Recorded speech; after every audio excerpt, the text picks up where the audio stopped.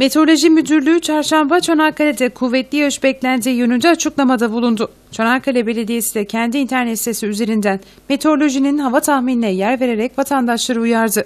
Belediye sitesinde şu açıklamalara yer verildi. Kıyı ve Çanakkale çevrelerinde kuvvetli yağış beklenirken gök gürültülü yağış şu yerlere düşmesi beklenmekte. Yapılan son değerlendirmelere göre kuvvetli güneyli rüzgarla birlikte Çanakkale, İzmir, Aydın ve Buğla, Balıkesir'in batı ilçelerinde kuvvetli ve yer yer kuvvetli sağanak ve gök gürültülü sağanak yağış bekleniyor.